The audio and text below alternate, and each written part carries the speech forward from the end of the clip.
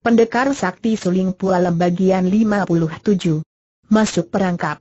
Toan Beng Kiat dan Bokiong Sian Hoa bersenda gurau di halaman istana, kemudian mereka berdua pun saling mengejar sambil tertawa riang gembira.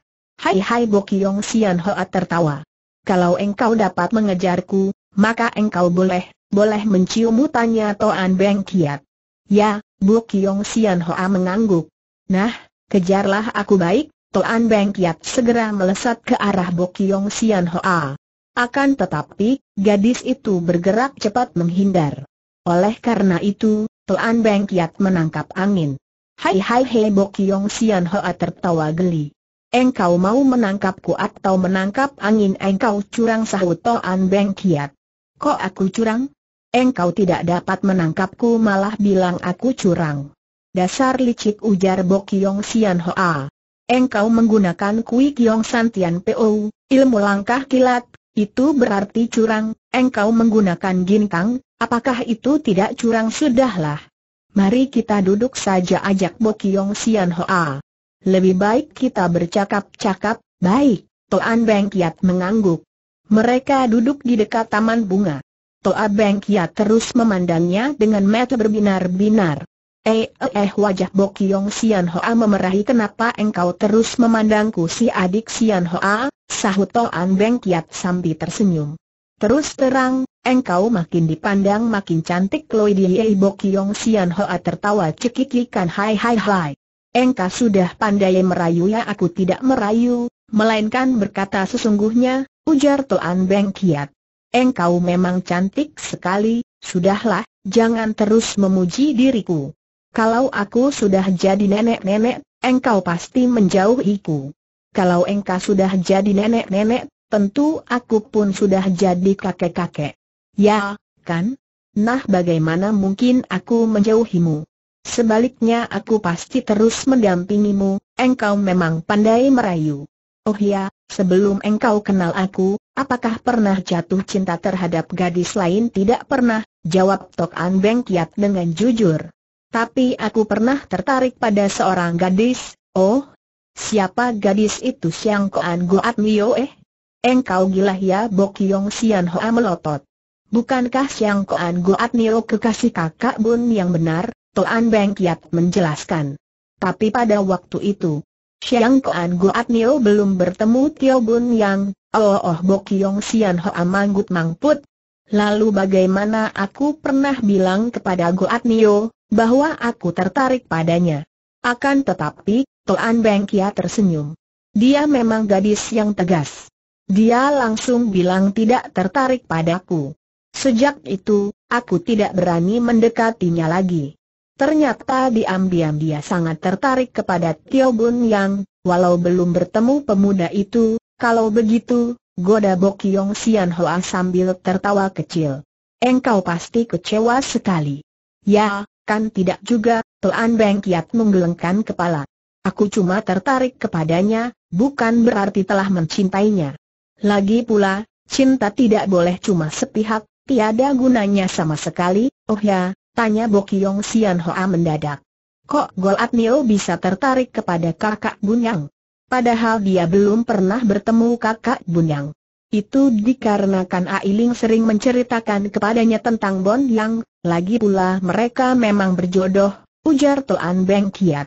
Tio Bun yang memiliki suling kemala, sedangkan Goat Nio memiliki suling emas. Nah, bukankah mereka berjodoh benar? Bu Kiong Sian Hoa manggut-manggut dan menambahkan. Mereka pun mahir meniup suling. Kelak bila bertemu mereka, aku ingin menyuruh mereka meniup suling. Bagus, Toan Beng Kiat tertawa. Aku memang ingin mendengar suara suling mereka, kakak Beng Kiat, aku merasa kasihan pada Soatlan, ujar Bok Yong Sian Hoa mendadak. Lo, memangnya kenapa Toan Beng Kiat heran? Karena, Bok Yong Sian Hoa menggeleng-gelengkan kepala. Dia belum ketemu pemuda idaman hatinya, oh, itu Toan Beng Kiat tersenyum. Kalau sudah waktunya, dia pasti akan ketemu pemuda idaman hatinya. Percayalah NG Bok Yong Sian Hoa manggut-manggut kakak Beng Kiat, ada apa, sayang Toan Beng Kiat memandangnya.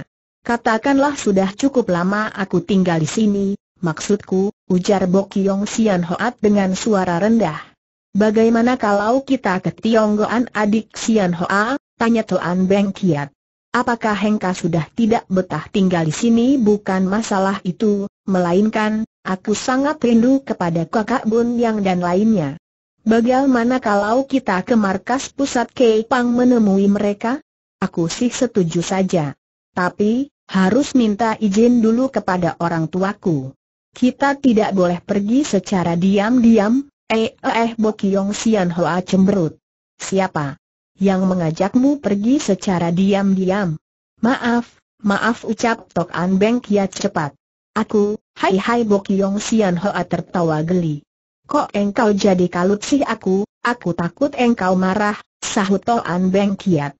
Engkau tidak marahkan bagaimana mungkin aku marah Bokyong Sian Hoa tertawa lagi. Aku bukan gadis pemarah lo adik Sian Hoa, Toan Beng Kiat menggenggam tangannya.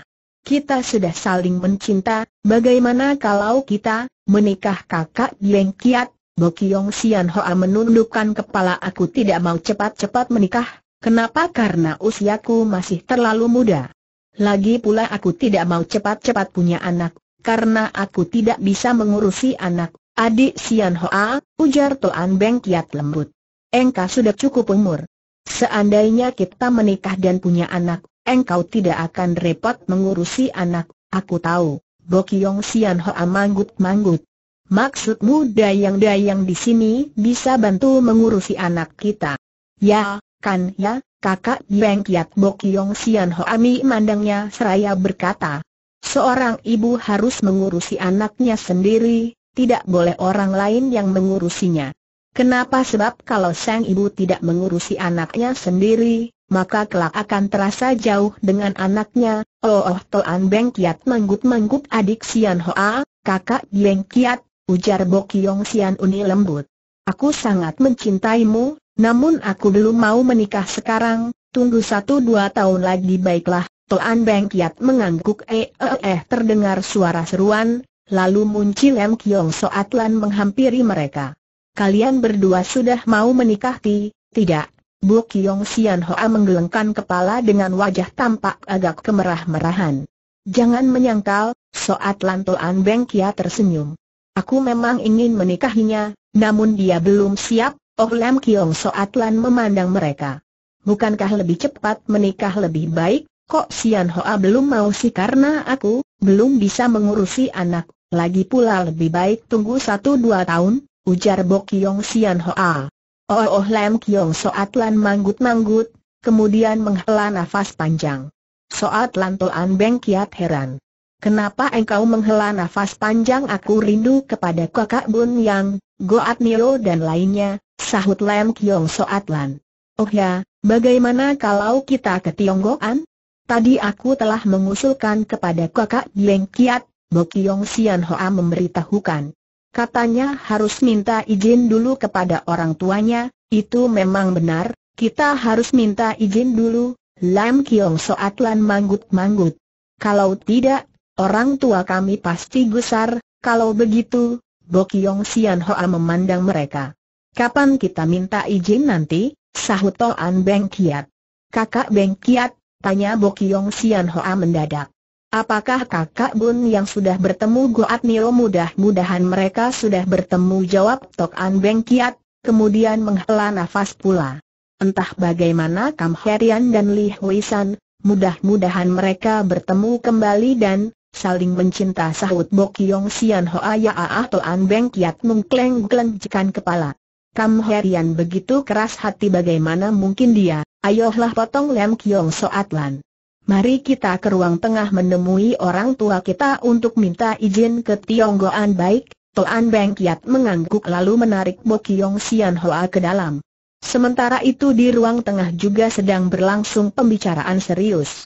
Mereka adalah Toan Wei Kie, Go Sian Eng, Lam Kiong Bel Yong dan Toan Pit Lian. Menurut aku, lebih baik Beng Kiat dan Sian Hoa dinikahkan, sebab mereka sudah saling mencinta, ujar Lam Kiong Bie Liong. Kami memang bermaksud demikian, sahut Toan Beng Kiat. Tapi, itu pun tergantung pada mereka berdua, kami tidak boleh memaksanya, Logo Sian Eng heran. Memangnya kenapa mungkin mereka masih ingin bebas? Toan Beng Kia tersenyum. Kalau mereka sudah menikah, tentunya akan punya anak. Nah, itu cukup merepotkan mereka, mengurusi anak memang sudah merupakan tugas kewajiban orang tua, begitu pula mereka berdua, ujar Gong Sian Eng dan menambahkan. Kakak Wei Kie, lebih baik suruh mereka cepat-cepat menikah adik Sian Eng Toan Wei Kie tersenyum. Kita boleh mengusulkan, namun tidak boleh memaksa, Loya, Go Sian Eng mengangguk. Kalian berdua sudah tenang, ujar Toan Pit Lian sambil menarik nafas dalam-dalam. Sedangkan kami, kenapa kalian tanya Toan Wei Kie heran? Hingga kini soalan masih belum punya kekasih, sahut Toan Pit Lian sambil menggeleng-gelengkan kepala. Entah kapan akan bertemu pemuda idaman hatinya jangan khawatir Lem Kiong Bieliong tertawa. Aku yakin tidak lama lagi Soat Lan akan bertemu pemuda idaman hatinya, oh Toan Pit Lian tersenyum. Suamiku, putri kita tinggal di Taili ini. Bagaimana mungkin akan bertemu pemuda idaman hatinya? Kalau bintang jodohnya sudah terbuka, dia pasti akan bertemu pemuda idaman hatinya. Percayalah ujar Lam Kiong Bie Liong. Kalau dia sudah menikah, legalah hatiku, bersamaan itu, muncullah Toan Beng Kiat, Bo Kiong Sian Hoa dan Lam Kiong Soatlan. Ayah, ibu panggil Toan Beng Kiat dan La Kiong Soatlan. Paman, bibi panggil Bo Kiong Sian Hoa. Duduklah sahut Toan Beng Kiat. Wajah ayah dan ibu tampak serius sekali, apa yang sedang dibicarakan ayah dan ibu tanya Toan Beng Kiat. Oh oh Toan Wilekie tersenyum samf manggut-manggut. Ayah dan ibu sedang membicarakan engkau dan Sian Hoa.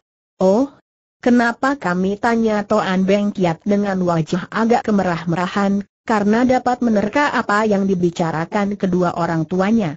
Engkau dan Sian Hoa sudah saling mencinta, maka, sahut Gong Xian Eng dan menambahkan alangkah baiknya kalian berdua melangsungkan pernikahan saja Ibu Toan Beng Kia tersenyum.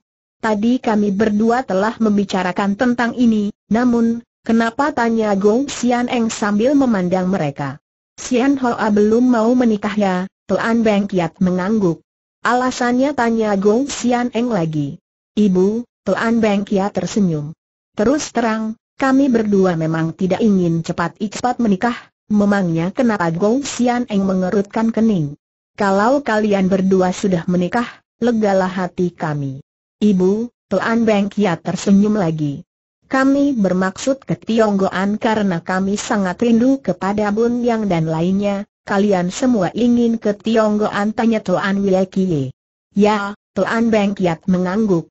Maka kami kemari untuk minta izin ayah dan ibu tidak akan melarang kami ke Tionggoan kan aku juga ikut selalam Kiong Saotlan.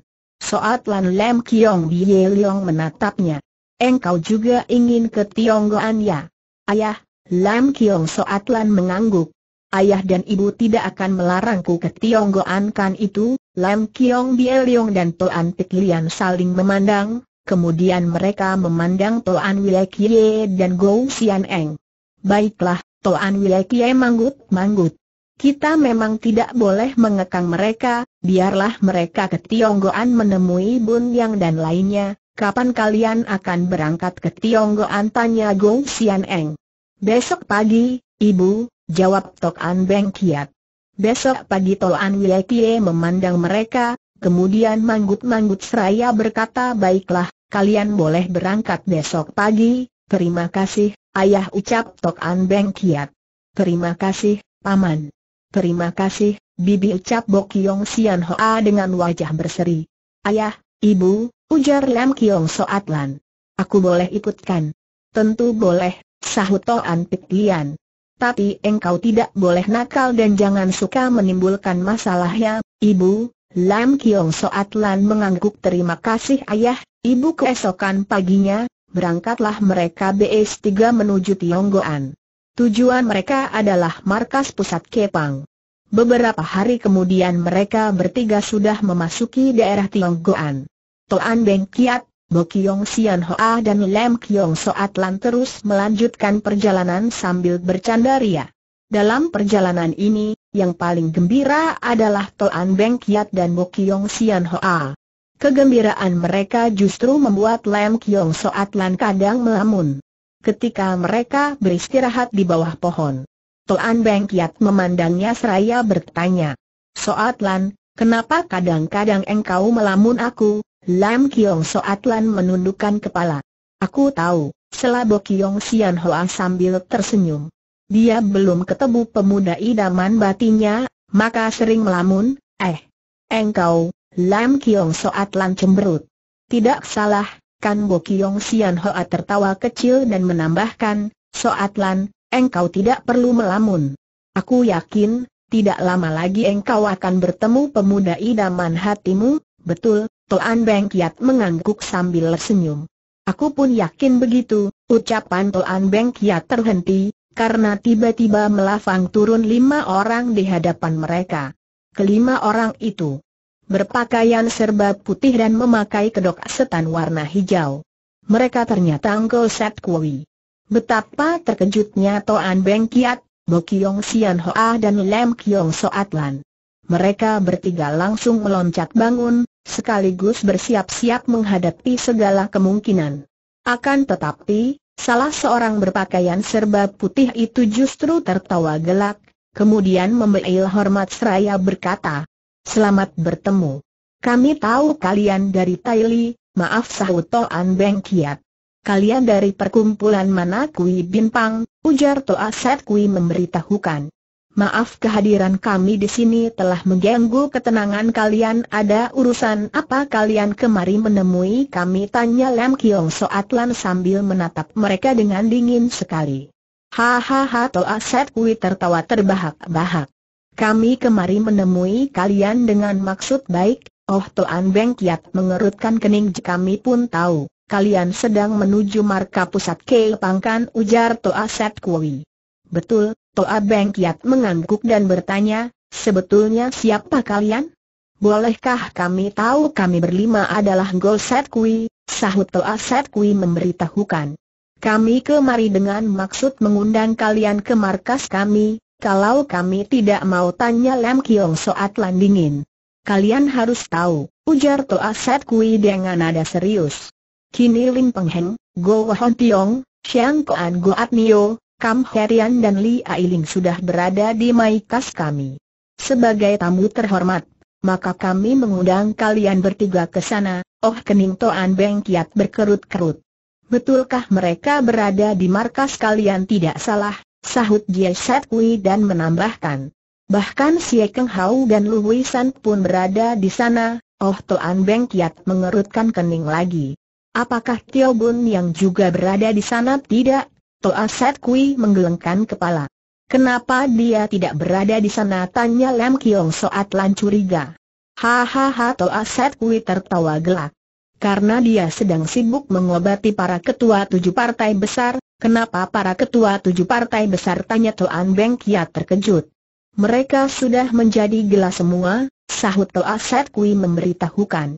Karena terpukul oleh pukulan Seng Hui E Sin Kun, Oh air muka Toan Beng Kiat berubah, siapa yang menyuruh kalian mengundang kami ke sana ketua Kui Bin Pang dan teman-temanmu, sebab mereka sudah sangat rindu kepada kalian, sahut Toa Set Kui.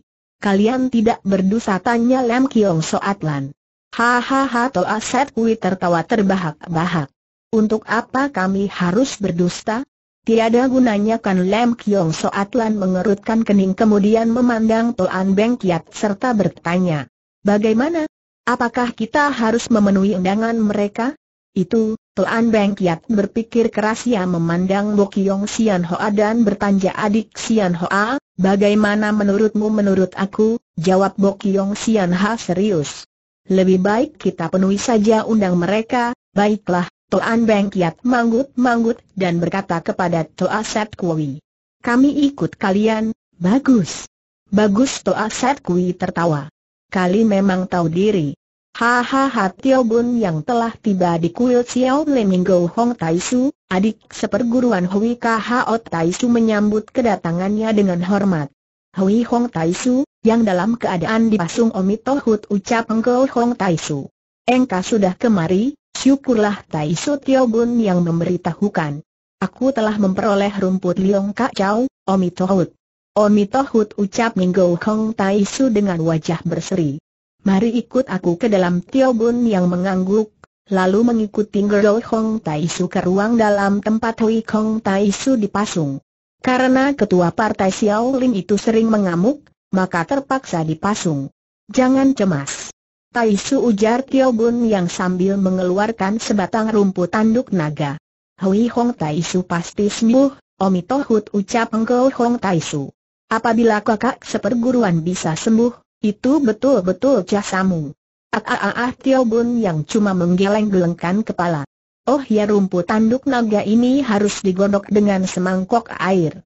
Berselang beberapa saat setelah mendidih, barulah dituang ke mangkok lagi, lalu diberikan kepada Hui Kong Tai Su, ya, Go Kong Tai Su mengangguk sambil menerima rumput tanduk naga tersebut, kemudian melangkah ke dalam. Sedangkan Tio Bun yang terus memandang Hui Kong Tai Su yang dalam keadaan dipasung.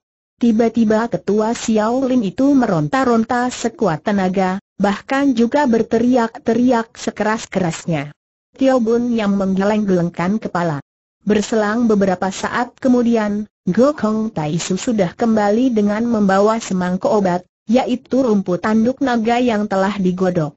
Harus ditotok jalan darahnya dulu, agar tidak meronta-ronta, ujar Tio Bun Yang. Setelah itu barulah dicekoki dengan obat itu, ya, Go Kong Tai Su mengangguk, lalu menaruh mangkok itu di atas meja dan mendekati Hui Hong Tai Su. Mendadak ia menotok jalan darah di punggung Hui Kong Tai Su, agar ketuai Xiao Lim itu tak mampu bergerak, barulah Engkau Hong Tai Su mencekoki Hui Kong Tai Su dengan obat itu.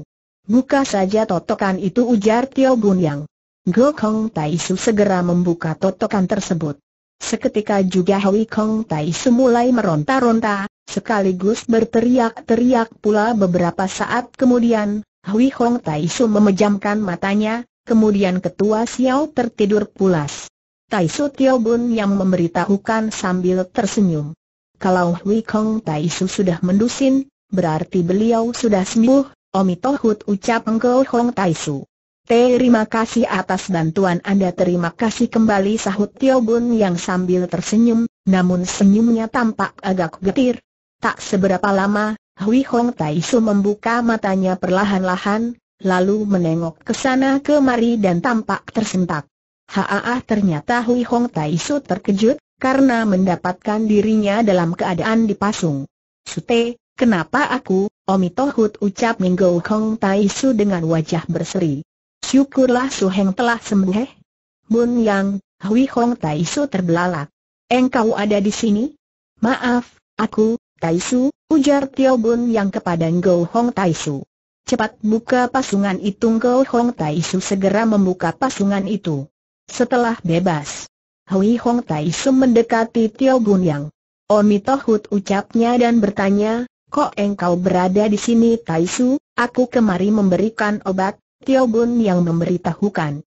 Untuk jelasnya, biar Ringo Hong Tai Su yang menceritakannya, Su Heng terkena pukulan Seng Hui E Sin Kun, Go Hong Tai Su menutur tentang keladian itu, kemudian menambahkan. Para ketua partai besar lain pun terkena pukulan itu.